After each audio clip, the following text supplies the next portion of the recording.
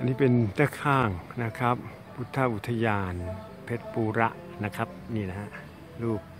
องค์ท่านนะที่ประเพณีที่อุ้มพระดำน้ำนะครับ อุ้มพระดำน้ำนี่แหละครับ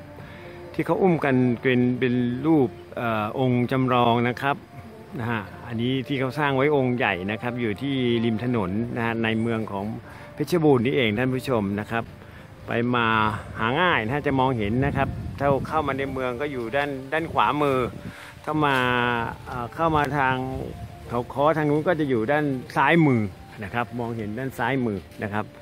บรรยากาศร่มรื่นนะครับท่านผู้ชมมีห้องน้ำด้วยนี่ห้องน้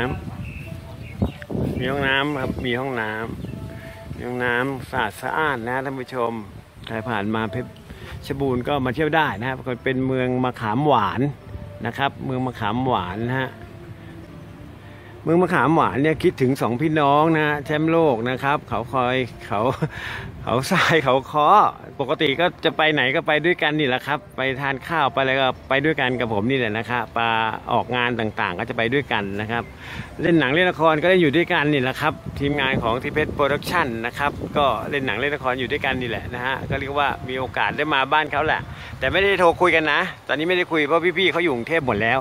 นะครับเขาอยู่ที่กรุงเทพหมดแล้วไม่ได้อยู่ทางเพชรบูรณ์นี่แล้วเขาคอทางนี้แล้วนะครับ